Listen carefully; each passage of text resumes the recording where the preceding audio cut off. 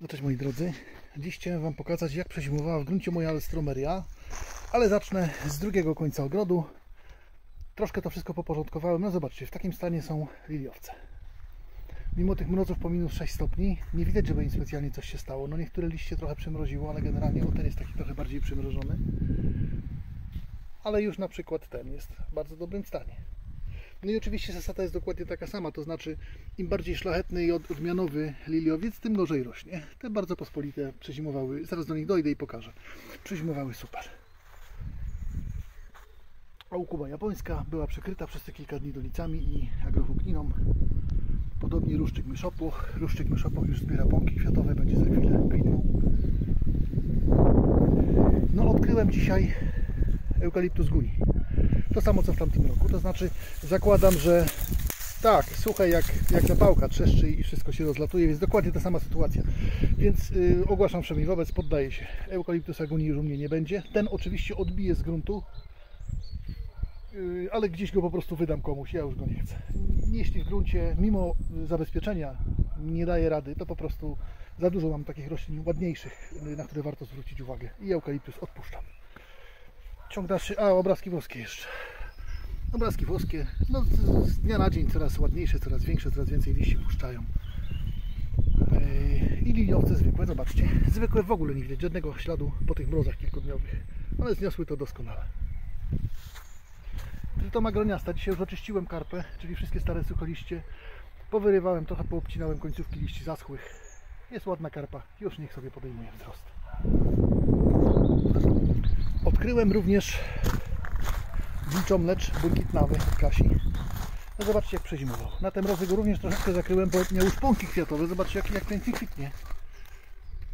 Bałem się, że te pąki mi wymrozi, więc zakryłem go taką osłonką z agrowłókniny i na to założyłem taką wielką donicę. No i przetrzymał pięknie te kilka dni nocnych przymrozków. Teraz już go rozebrałem, niech pokazuje swój rok. Dobrze, idziemy dalej teraz do właściwego punktu ogrodu. Po drodze będę Wam oczywiście coś tam jeszcze pokazywał. Moja sasanka jaka ładna. Była przykryta donicą z uwagi na te przemrozki i bardzo pod tą donicą podskoczyła, bo widocznie miała cieplej i lepiej. No i fajnie.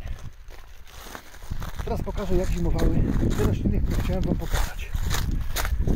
Tu jeszcze nie rozgrzewałem tego, ale już przy Was to zrobię. A mianowicie tu jest akant. O patrzcie, zobaczcie, pięknie. Akant variegata. Bardzo delikatnie to muszę zrobić, żeby nie pouszkadzać liści, ale patrzcie jak pięknie wysuwaliście. Bo mówią, że nie zimuje w gruncie. No zima w tym roku była słaba, ale przezimował. Pod okryciem tylko z kubki, yy, kubkę kory nasypałem na niego. I przezimował i super, jestem zachwycony. No to tym bardziej odkryłem tu chwilę wcześniej. To jest zwykły akant zielony. Tym bardziej jak wariata przezimował to i ten przezimował przepięknie już puszcza nowe pędy, także teraz już mu przymrozki nie straszne. Ewentualnie jeśli by miały być jakieś przymrozki w nocy, to zawsze zakryję go donicą i starczy. A to jest rzecz, nad którą najbardziej się zastanawiałem. Ja już dzisiaj grzebałem. To wszystko wyglądało tak jak teraz, czyli było okryte kubką kory, z wierzchu nasypane było trochę liści. Na to zarzuciłem agrowłókninę jeszcze i to wszystko nakryłem donicą. I tak zimowała moja alstromeria. Zobaczcie. Zobaczcie. Alstromeria. Proszę. Ile nowych pędów już puszcza. Na razie całej karpy jeszcze nie rozgrzebuję. Zostawię tak jak jest. Niech trochę się oswoją ze światłem te pędy. I dopiero jak się oswoją za kilka dni to oczyszczę w całości. Tak samo za kantami. Zostawiam je tak, takie rozgrzebane troszeczkę. Po świętach yy, posprzątam do czysta już. Uporządkuję grządkę. Ale za Alstromerii jestem bardzo zadowolony, że udało jej się przezimować.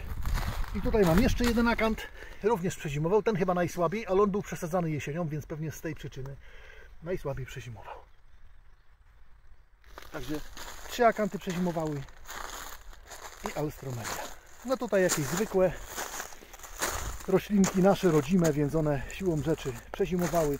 Bardzo się również cieszę, że wychodzi mi pustynnik, którego w tamtym roku kupiłem. Kupiłem dwa.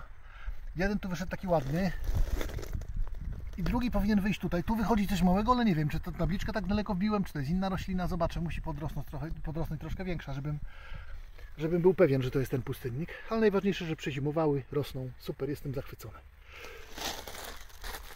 Foksy już pięknie wschodzą. A tutaj zobaczcie, u niektórych z Was kwitną pięknie cesarskie korony, a u mnie dopiero wychodzą.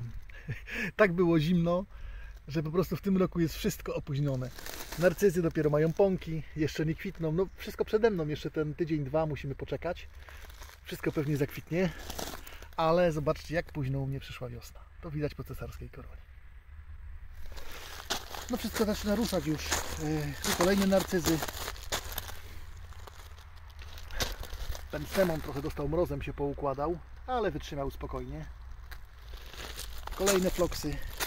Czosnki to w ogóle już praktycznie, one nie były przykryte przed mrozem, ich praktycznie nie rusza przymrozek. One sobie potrafią gospodarkę wodną tak poprowadzić, że gdzieś tam do cebuli odprowadzą wodę z liści. Mróz nie czyni żadnych uszkodzeń. Zaraz Wam pokażę, jak gunerka nam wypchnęły, jak liście gunerki wypchnęły mi do góry klapy, ale to nie trzeba specjalnie szukać, bo o, już widać, proszę bardzo. Już się pokazuje peryskop. Peryskop potworka. Pięknie przezimowała, fajnie rośnie. Szkoda, że mam taką małą budkę niską, no bo w tej chwili będzie mi podnosiła klapę. Będę musiał coś pokombinować, zdjąć jeden segment tam z bananowca, z tego Red Tigera, bo tam yy, prawdopodobnie Red Tiger albo przezimował kiepsko, albo w ogóle, bo na razie nie podjął wzrostu. Więc spokojnie mogę jeden element zdjąć, dołożę go tutaj i niech sobie yy, rośnie w siłę. Miałem już nie dokręcać, ale dokręcę Wam jeszcze, bo wybrałem wszystko z Gunery. Jak widzicie, bardzo ładnie przezimowała, jest super.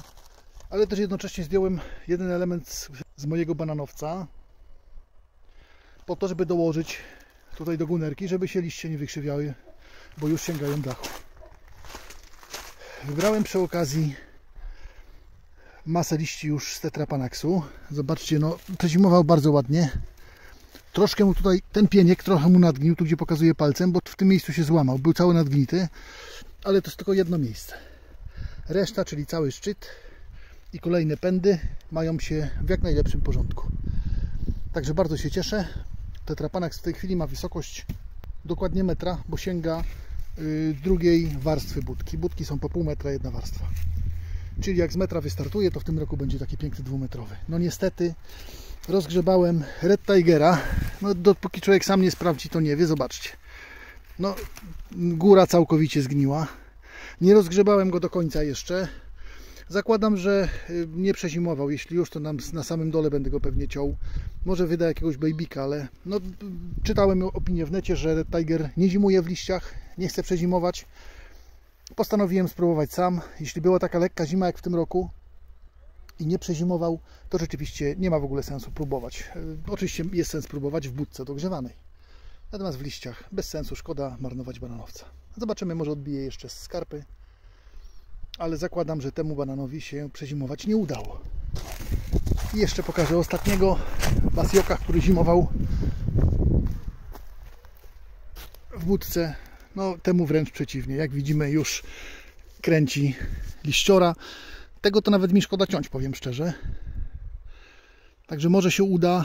Najwyżej dołożę też jeszcze jedną warstwę budki, żeby się liść nie wyginał. No zobaczymy jeszcze. Na razie go nie tnę trochę się wygnie, nic mu się nie stanie, a ewentualnie dołożę mu jeszcze jedną warstwę z budki i wtedy no, czym wyższy, tym fajniejszy. Po to stawiałem taką budkę wysoką zresztą, bo jak pamiętacie, ta budka ma 1,5 metra.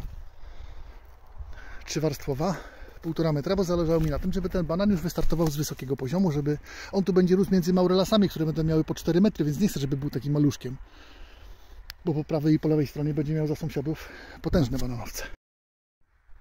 Ponieważ już zbliżają się święta, mamy dzisiaj Wielką Sobotę, życzę Wam wszystkim, kochani, zdrowych, wesołych, rodzinnych świąt, spędzonych w świątecznej atmosferze.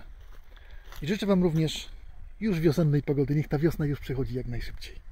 Co prawda prognozy, które oglądałem, jeszcze nie napawają jakimś wielkim optymizmem, ale już chociaż noce będą bez przymrozków. Także moi drodzy, zdrowych, wesołych świąt jeszcze raz. Do zobaczenia, do usłyszenia.